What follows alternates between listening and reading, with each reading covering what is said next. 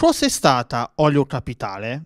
Avrà insegnato qualcosa a Bitonto? Sono le domande che ci si è posti qualche giorno fa quando comune e aziende sono incontrate per fare il resoconto sulla principale feria italiana dedicata all'olio extravergine e che si è svolta a Trieste, già Trieste, in Friuli Venezia Giulia, dal 10 al 12 marzo. Sicuramente ha fatto capire che Bitonto deve imparare a sfruttare al meglio quelle che sono le sue peculiarità.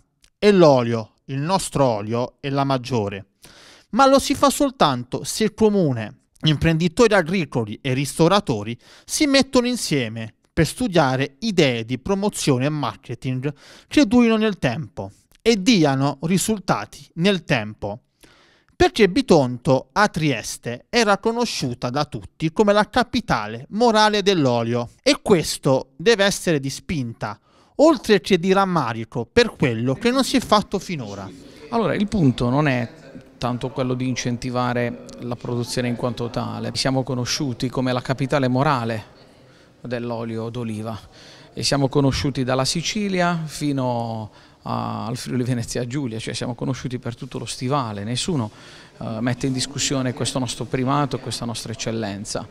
E sul piano della quantità, sul piano anche della qualità dell'olio, direi che non c'è secondo me molto da, molto da migliorare. Io credo che invece la direzione nella quale bisogna andare sia quella di associare il prodotto dell'olio alla nostra città, perché oggi è la narrazione di una terra che accompagna un prodotto e lo, diciamo, lo promuove sulle tavole degli italiani, sulle tavole degli europei, sulle tavole di tutti i paesi del mondo. La bilancia allora comunque è più vicina al segno più ma c'è rammarico che soltanto un'azienda agricola bitontina era fisicamente presente nella trasferta triestina. Corato, tanto per citare un comune vicino a noi, ne aveva qualcuna in più. È stata un'esperienza molto importante, una grande vetrina e una grande occasione per far conoscere le nostre eccellenze non solo in Italia ma anche all'estero perché Trieste è una fiera internazionale si può dire, quindi un incontro